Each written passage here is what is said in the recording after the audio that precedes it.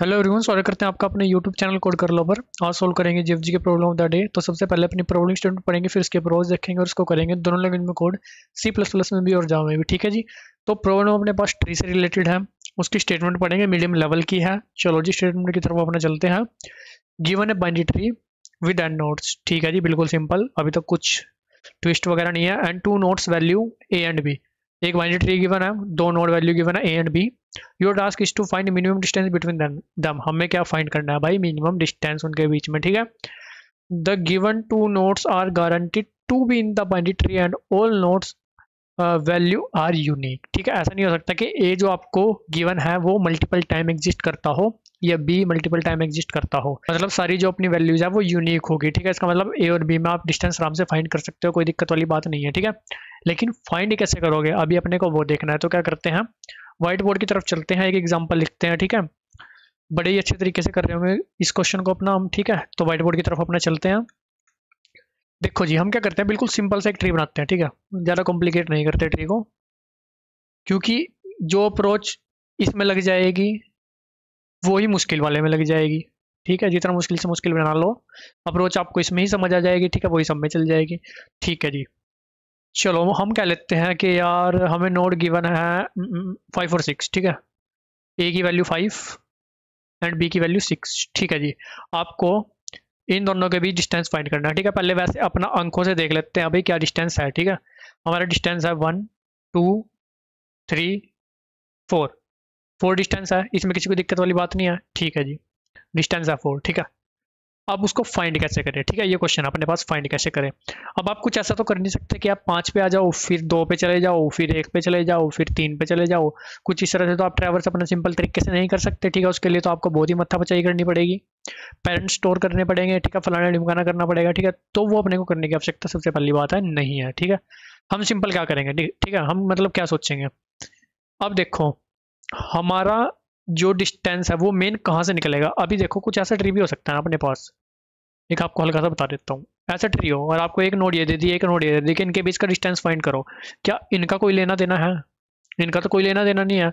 मतलब जो मेन अपना लेना देना है, वो इस नोड का है भाई। मतलब जो पेरेंट है दोनों का, ठीक है? अब इसका पेरेंट ये है, इसका पेरेंट ये है। हमें ऐसे नहीं देखना, जो दोनों में सेम आ रहा हो, ठीक है? यहाँ से देखो, आपकी मेन जो चीज़ है, वो यहाँ से है।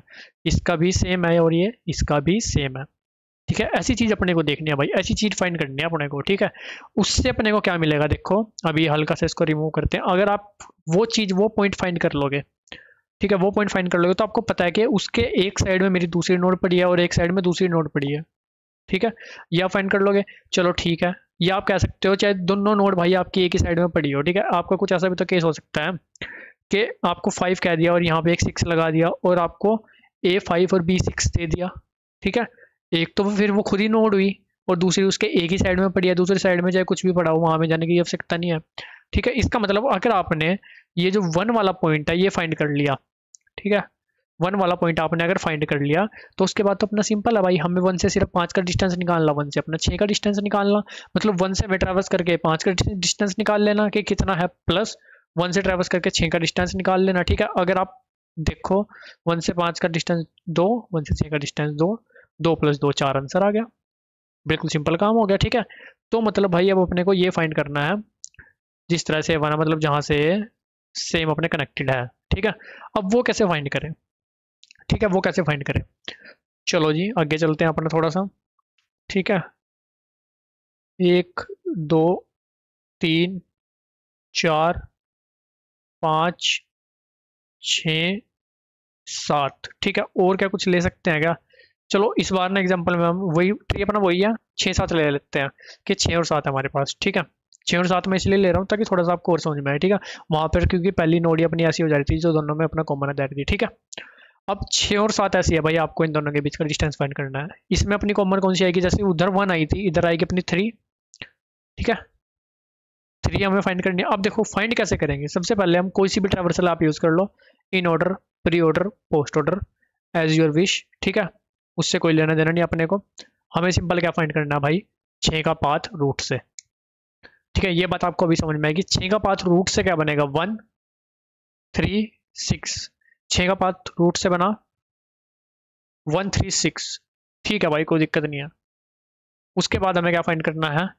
सात का पाथ मतलब ए और बी दोनों का पाथ रूट से फाइंड कर लेना है। ठीक है छः का बना था वन थ्री सिक्स सात का क्या बनेगा? वन थ्री सेवन क्या अब आप ये पाथ फाइंड करने के बाद, अब आप नहीं बता सकते कि कौन सा पॉइंट से जाके मेरे अलग अलग हो रहे हैं। कहाँ तक मेरा सेम है? यहाँ तक तो मेरा सेम है भाई।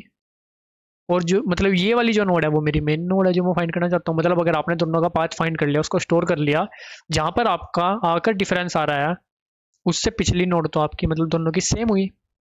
अगर दोनों की पिछली नोड सेम हुई और आपके पास ये नोड प्रेजेंट है ये नोट तो आपके पास प्रेजेंट हो गया, आप स्टोर करके रखोगे। इससे आप इसका डिस्टेंस निकाल लो, इससे आप इसका डिस्टेंस निकाल लो, ठीक है? अब आपके पास वहाँ पर क्या, आप क्या सोचोगे कि हाँ भाई, मेरे पास ये नोड आ गई, ठीक है? ये नोड आ गई, इसका मैंने कहीं पर स्टोर कर लिया, इसका रेफरेंस ठीक है? फिर मैं क्या करूँगा, एक फ़ंक्शन बनाऊँगा, उसमें इसको पास कर दूँगा ट्रैवर्स करूँगा, ठीक है? जब मैं छः पर आ जाऊँगा तो डिस्टेंस एक एक प्लस करता चलूँगा। ठीक है, फिर इधर मैं सात पर आऊँगा ऐसे ही फिर सात का डिस्टेंस प्लस करता चलूँगा, ऐसे आके अपना दोनों का डिस्टेंस प्लस करके आंसर रिटर्न करूँगा, ठीक है? क्या आपको वो करने की भी आवश्यकता है? आपको वो करने की भी आवश्यकता नहीं है, क्योंकि भाई जब आप इसको स्टोर कर चुके हो तो भाई आप सारी चीज़ें स्टोर कर चुके हो डिस्टेंस भी आ चुका है यहाँ पर। तीन से छः का डिस्टेंस एक, तीन से सात का डिस्टेंस एक। आपको सिंपल क्या करना है?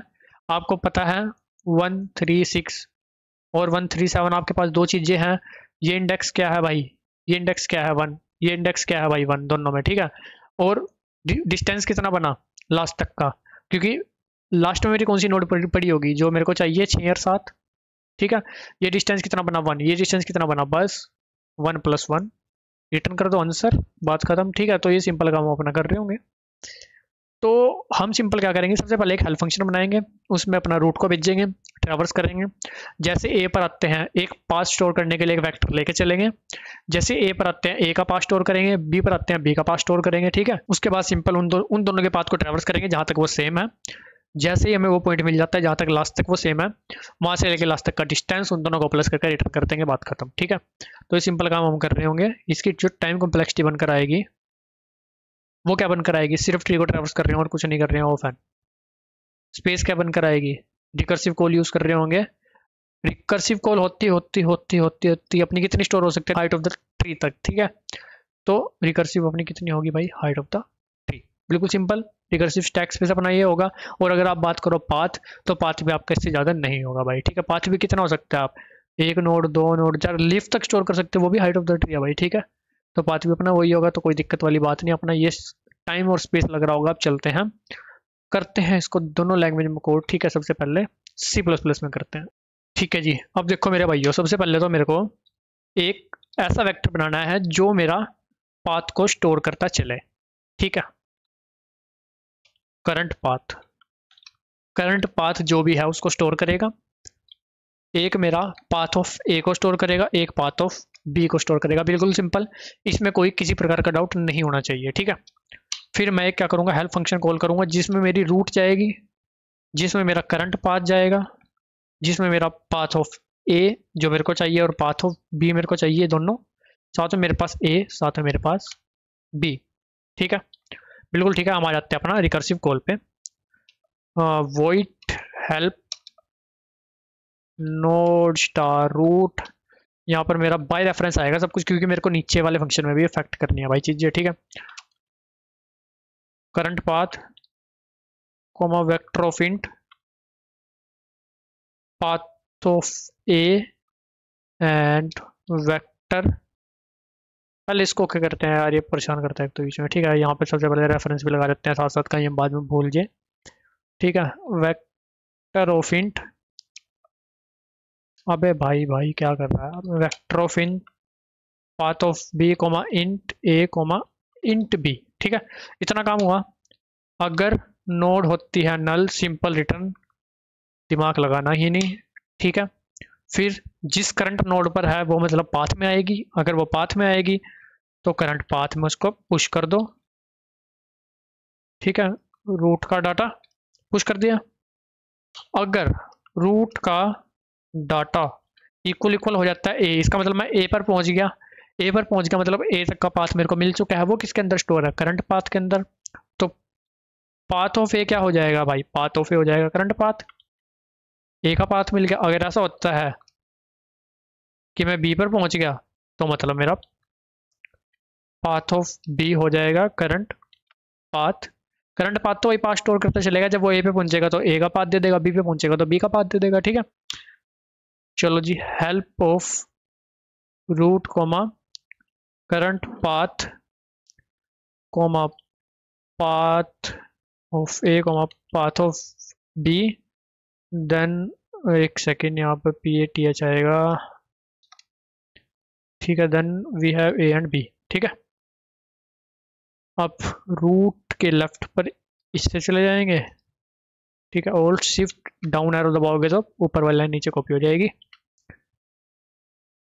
ठीक है, ये राइट पर चले गए। अब ये बाय रेफरेंस है। जिस नोड का काम निमट चुका है ना, जिससे हम वापस आ चुके हैं, भाई उसको इसमें से रिमूव भी कर देना है। वरना ये तो ट्री की सारी नोड अपने अंदर स्टोर कर लेगा भाई, ठीक है? हमें जिससे हम रिमूव जिससे वापस आ चुके हैं, जिससे हमें पाथ नहीं मिला, या जिससे पाथ मिल के हम वापस आ चुके हैं, उसका आगे कोई काम नहीं बचा, ठीक है?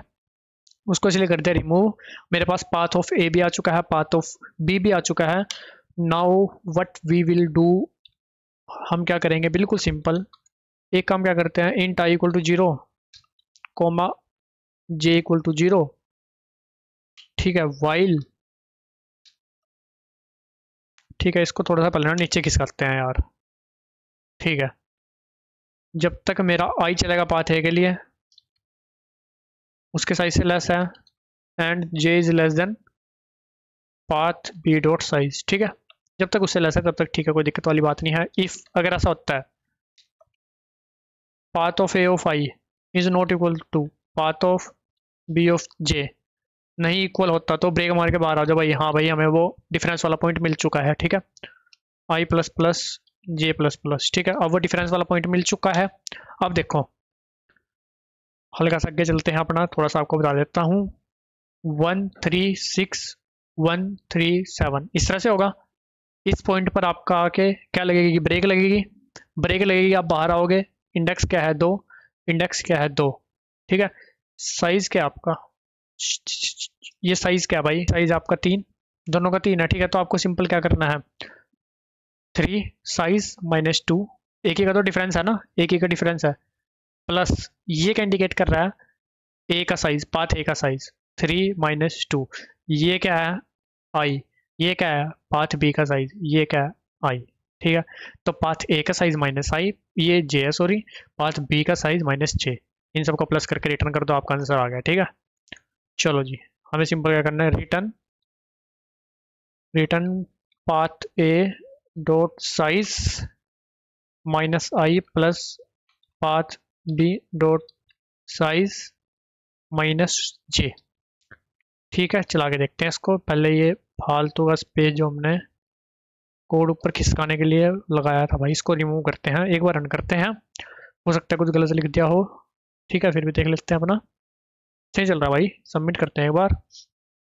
सेम पैटर्न में जावा कोड लिखा है, वो भी आपको शो करता हूँ, एक बार अगर ये सबमिट हो जाए तो। ये वो सबमिट चलते हैं अपने जावा कोड की तरफ़। ये रही अपना सेम जावा कोड अपना तीन जैसे वेक्टर थे यहाँ पर, है लिस्ट बना ली। हेल्थ फ़ंक्शन कॉल कर दिया, उसमें सिंपल क्या करा ट्रैवर्स करा। जिस भी नोड पर आते गए, उसको अपना पाथ में पुट करते गए उसके डाटा को। अगर ए पर आ जाते हैं तो ए का पाथ ले लिया बी पर आ जाते हैं तो बी का पाथ ले लिया। ठीक है, अपना लेफ़्ट और राइट कॉल करते चले गए सिंपल और जिस जिस नोड का काम निमटता चला गया, उसको रिमूव भी करते चले गए। उसके बाद आए सेम देख लिया सेम पाथ कितना है, जहाँ से मतलब अपनी अलग अलग हो रही है, वहाँ उस पॉइंट पर आए। ठीक है, वो साइज़ माइनस वो पॉइंट साइज़ माइनस वो पॉइंट दोनों में से बी और ए में से, दोनों को ऐड करके अपना रिटर्न कर दिया। ठीक है टोटल डिस्टेंस अपने पास आ चुका है। एक बार इसको पहले रन कर लेते हैं, हो सकता है कुछ आगे पीछे लिखा गया हो, ठीक है, देख लेते हैं एक बार। सही है, एक बार सबमिट करते हैं इसको भी। ठीक है जी, और गाइस दोनों कोड का लिंक जो आपको डिस्क्रिप्शन में मिल जाएगा। किसी प्रकार का डाउट आता है कमेंट सेक्शन में पूछ सकते हो। वीडियो अच्छी लगी तो लाइक सब्सक्राइब भी कर सकते हो। मिलते हैं आपसे अपने के लिए वीडियो में, तब तक के लिए धन्यवाद।